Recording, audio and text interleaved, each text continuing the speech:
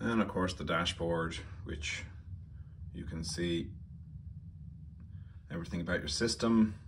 So what we can see here is that currently producing 0.9 kilowatts, one kilowatt, and using 0.2, I have computers on, lights on, nothing major on, exporting 0.7.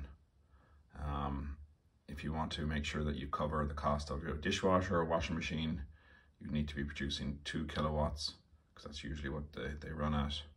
And you can look at um, the uh, individual, what you've produced, blue and orange is consumed for today, week, month.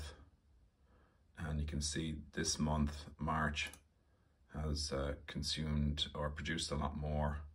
And this month we've saved 42 euro, but it's March. December and January, pretty much not more than 10 euro.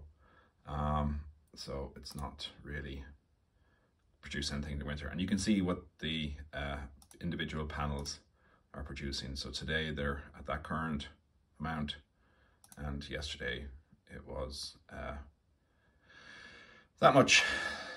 Here we go.